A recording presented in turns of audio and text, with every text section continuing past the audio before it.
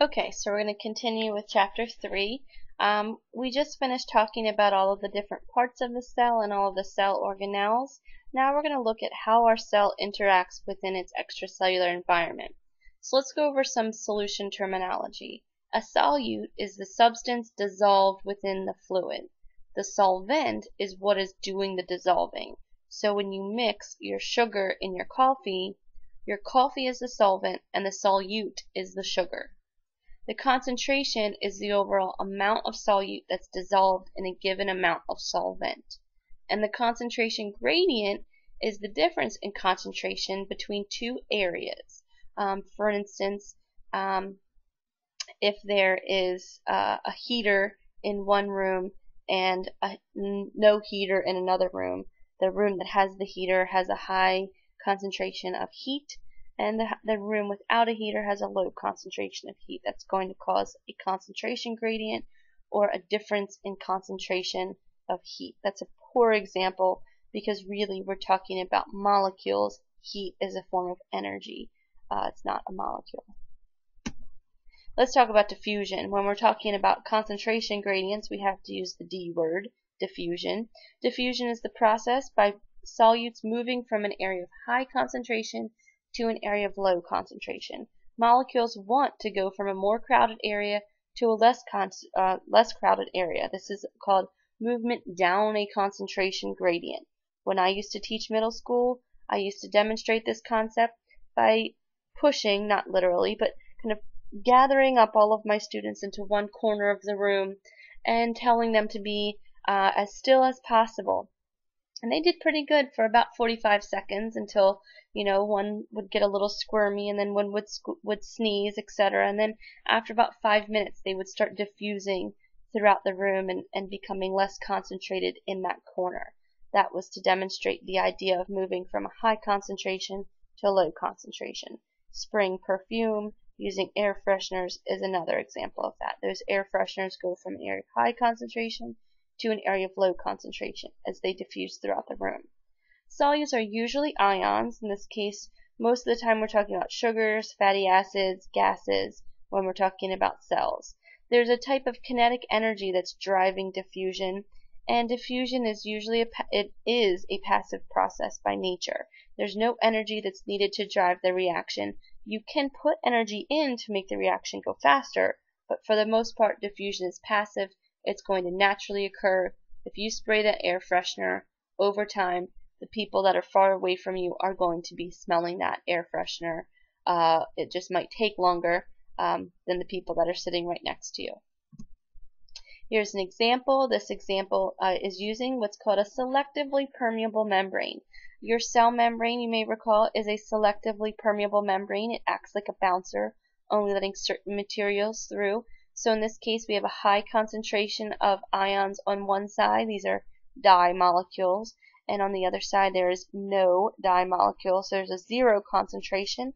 Molecules always go from an area of high concentration to an area of low concentration, in other words, down the concentration gradient, and that's what you see here in this picture. Notice the movement of these molecules. Some of them are going to go back through the membrane.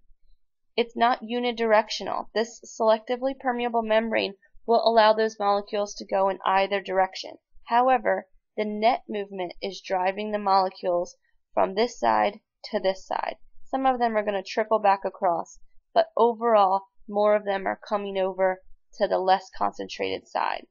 At equilibrium, that's ultimately what diffusion is trying to accomplish, the state of equilibrium where there are equal concentrations on either side of the selectively permeable membrane. In this case, we have net movement uh, in no direction. There's equal amounts of movement on both sides of our selectively permeable membrane. Diffusion conditions uh, that have to be present. Of course, the membrane has to be permeable to the solute, has to let the solute cross. There has to be a concentration gradient to, to drive the, the net movement of those solutes across the membrane. And as I mentioned, that diffusion will occur until equilibrium is reached and the solute concentration is equal on both sides of the membrane. Let's talk about some transport proteins. If the solute is lipid soluble, it will pass directly through that cell membrane. If a substance is larger than lipids in the membrane, then it's going to need a transport protein. It can use channels and pores, as we saw those integral proteins. Some of them act as a channel, basically staying open and allowing these lipid soluble molecules to flow right on through. They act as a tunnel. They can be gated uh, to only allow movement under certain conditions, or they can be um, what we call leaky, which would just uh, be constantly opening. Uh, they could also be a carrier protein, where a solute has to bind to the outer surface of that protein molecule inducing a shape change, and then that solute can be released to the inside part of the cell. Facilitated diffusion or facilitated transport is diffusion that's aided by a transport protein. The solute's still moving down the concentration gradient, it's still going from high to low concentration. No additional energy is needed, it's still a passive process. It just requires a transport protein because of the solubility or the size of the molecule. Here you can see what I was talking about, our concentration gradient. We have a higher concentration of whatever lipid-soluble molecule outside of the cell through simple diffusion. Those molecules are just going to diffuse straight through that cell membrane. In facilitated diffusion, our molecules, in this case potassium, may use a channel protein. Potassium is an ion. Ions have a charge on them. Our cell membrane doesn't like to let charged molecules through because this inner part where all of those phospholipid tails are is a hydrophobic region. Doesn't like these charged ions. So those charged ions are going to go through a nuclear, uh, or rather through a, a channel protein, which acts as a pore, letting the potassium go in or out as needed. Facilitated diffusion, again, is still a passive process, uh, but it needs the help of a channel protein. Facilitated diffusion can also use a carrier protein, in this case glucose. Glucose wants to come into the cell, so it binds to the glucose carrier molecule. That's going to cause a conformational change within the carrier protein, allowing that glucose to be transported into the cell. Osmosis is a special type of diffusion. This is the diffusion of water across a selectively permeable membrane. Solutes can't travel down their concentration gradient in this case. Water has to travel down the concentration gradient. So it's kind of backwards from our thinking. Water is going to move from a more dilute area to a more concentrated area of solute. It's still going from a high concentration to a low concentration. It's just the concentration of water that we're looking at, not the concentration of the solute that we're looking at in this case. Let's see if I can do a quick drawing using my whiteboard, which I'm pretty terrible at, but we'll try it anyway. Here we have a beaker of water, and here is a cell inside that beaker of water. Most cells have a solute concentration of 3% inside of them. And let's put this cell in a 0% solution. 0% solution, here's our 3% cell. Now these percentages are representing the percentages of solutes. This is a 0% solute concentration, but it's a 100% water concentration. This is a 3% solute concentration, but it's a 97% water concentration. So in this case, if water is the, the molecule that's moving, water is going to go from a high concentration to a low concentration. In other words, from where it is 100% to where it is 97%. You can also think of it as water moves to where there's more stuff. In this case, water is going to go into our cell. It's going from an area of high concentration in that 0% solute solution to that 3% solute solution. If we had another case, let's draw the opposite. There's our beaker of water. Here's our cell, still at 3%. But let's put our cell in a 20% glucose solution.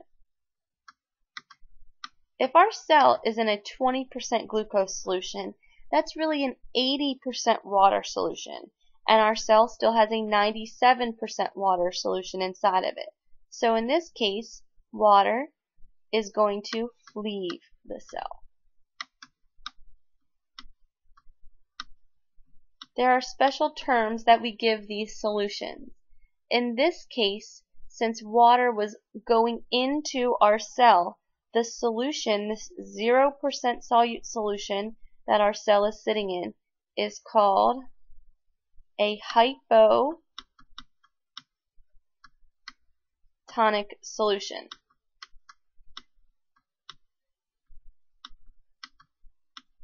Sorry, again, I'm using a touchpad. Uh, in this case, since water is leaving our cell, there's a higher solute concentration outside of the cell. This solution, this 20% glucose solution, is called hypertonic. Sorry, I know it looks like a three-year-old is writing this. There we go. Um, I remember these terms because in a hypotonic solution, think about what's going to happen to this cell. It's going to continue to gain water and it's going to blow up like an O. An O is nice and big and round and that's exactly what our cell's going to look like after sitting in this hypotonic solution. It in fact may even burst.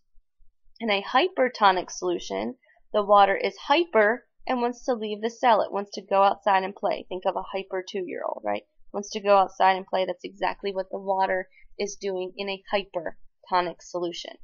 Let's get back to our vocabulary here. This is a diagram showing you exactly what I was just uh, talking about. Oops, sorry, my mouse likes to jump around. In this case, we have uh, the start of an experiment where we have lots of sucrose molecules inside of our cell, lots of water molecules outside of our cell, and these molecules are going to move until equilibrium is reached. In this case, since there's lots of sucrose molecules inside of our cell and no sucrose outside of our cell, water, which is always easier to move, is going to go into this test tube, which in this case is representing a cell. So this is what we call a hypotonic solution. At equilibrium, there's equal movements of water into and out of that test tube and look at what, what's happening through this glass tube. It's actually increasing the water concentration in this tube, which is forcing the, the solution to come up and out of the tube. Some terminology, I already introduced the terms hypotonic and hypertonic to you. Isotonic would be a solution that is at equilibrium. So let's look at them more specifically. The term isotonic, iso means the same, tonic is referring to osmotic pressure, like inside the cell, it's the pressure to move water inside the cell. The solute concentration is the same inside and outside of the cell, so we say that our cell is at equilibrium. There's no net movement of water, however, there is movement of water into and out of the cell in equal in increments. In a hypotonic solution, the term hypo means less than, so this is when the osmotic pressure is less than the inside of the cell.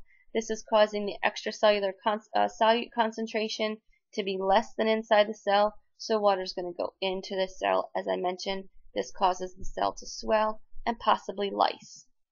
In a hypertonic solution, hyper means more than, so in this case the osmotic pressure is more than inside the cell. Our extracellular solute concentration is more than inside the cell, so water is going to leave the cell. Water is hyper and wants to leave the cell. In this case, let's look at what happens in our human body in isotonic solution. Our red blood cells are nice and donut shaped. This is why when you go um, to the doctors and you're dehydrated, what do they give you? Do they give you distilled water? No. They're going to give you a saline solution. A saline solution is an isotonic solution, so your red blood cells maintain their shape. If they were to give you distilled water, this is what would be created your red blood cells would undergo what's called hemolysis. They would literally swell and then eventually rupture because that's a hypotonic solution and that causes an influx of water into the cell. This is also what happens if you overhydrate. Overhydrating by just drinking water on a sweaty on a day that you're sweating a lot, you're losing a lot of solutes, losing a lot of water. If you only replace the water and not the solutes, um, you can create a hypotonic solution in your blood and this is what's called water poisoning. This is why some people have actually died from drinking too much water on those hot days. A hypertonic solution, this is what happens when you become dehydrated. when your water concentration is depleted um, and your solute concentration is in, increased, the uh, our blood cells are going to begin to lose water to the external environment, and our red blood cells become what we call crenated. They shrivel up and they become very spiky in appearance. so far, excuse me, so far we've been talking about passive transport through simple diffusion, facilitated diffusion, and osmosis. Active transport is the process that's going to use energy to move molecules. These can be pumps, exchangers, or transporters. Ultimately, this is moving solutes from an area of low concentration to an area of high concentration. We say that it's moving things against the concentration gradient or up the concentration gradient.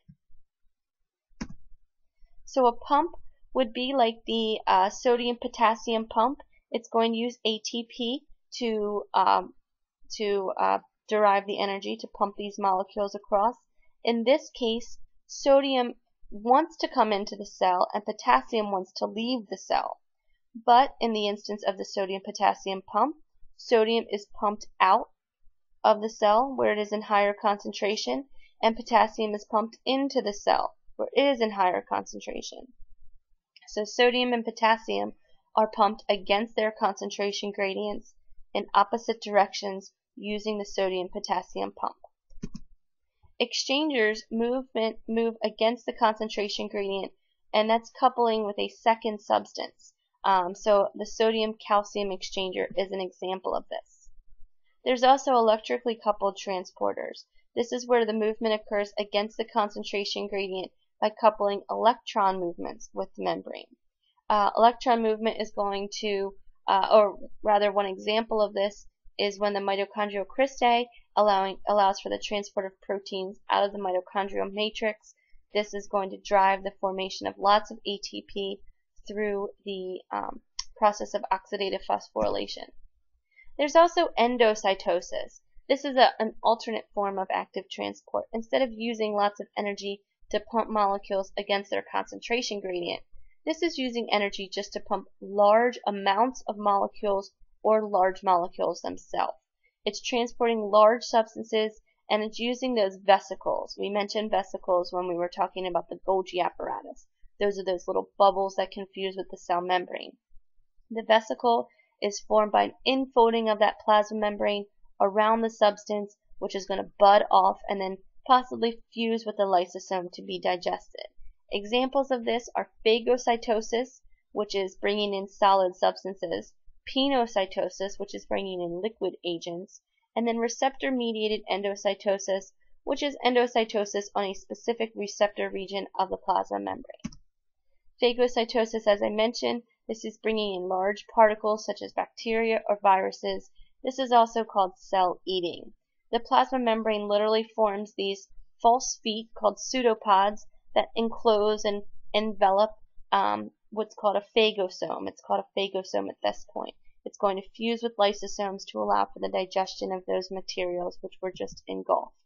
Here you can see what I was what I was talking about. These pseudopods kind of swelling out from the plasma membrane, engulfing some type of pathogen, in this case a microbe, coming into a vesicle, fusing with a lysosome. The lysosome can then digest the particle and has lots of digested pieces inside of it. This lysosome can then fuse again with the cell membrane to undergo what's called exocytosis, which is the opposite of endocytosis. It's going to be getting rid of all of those waste products. Pinocytosis is cell drinking, bringing in droplets of extracellular fluid. As the solutes are dissolved within the fluid, uh, vesicles um, will bring those substances in. Those vesicles can fuse with lysosomes and release their contents just like in phagocytosis. Receptor-mediated endocytosis is when hormones bind to receptors on the plasma membrane, resulting in a hormone receptor complex. The vesicle can then fuse with the lysosome, and the hormone receptor complex complex is then broken down. New receptors are made and packaged and then fused with the plasma membrane to reestablish that receptor site. If the hormones, uh, if if that cell is exposed to hormones repeatedly or over a long period of time, there's fewer receptors available, and so your body becomes desensitized or that target tissue becomes desensitized, has, which has a loss of effect of that hormone, meaning the cell will start to ignore, uh, for lack of a better term, what that hormone is secreting. Exocytosis is that reverse process of endocytosis. This is transporting substances out of the cell, the vesicles that bud off of the Golgi complex, carrying those proteins or whatever waste products, merging with that plasma membrane, releasing contents to the outside of the cell. Neurotransmitters, endocrine hormones, digestive hormones, etc. are all secreted in this fashion. Receptors and enzymes are inserted into those vesicle surfaces, so when that vesicle fuses with the plasma membrane, the receptors are already incorporated in the plasma membrane surface. Here you can see the whole uh, pathway, endocytosis, the cell engulfing whatever substance this is, packaging it, fusing with a lysosome, forming a secondary lysosome, and causing those particles to be able to be recycled inside the cell. Here we have the Golgi repackaging things that are coming from the endoplasmic reticulum, possibly proteins, forming little transport vesicles or secretory vesicles, fusing with that plasma membrane, and then undergoing exocytosis to be released to the extracellular fluid. This video here shows you um, a little bit about transport across the plasma membrane. We'll stop here for part two.